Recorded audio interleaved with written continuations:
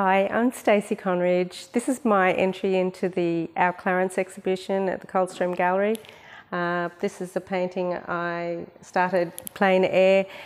Uh, I live on Woodford Island, which is surrounded by the Clarence River, and this is a view that I get to see very often um, the birds and the river.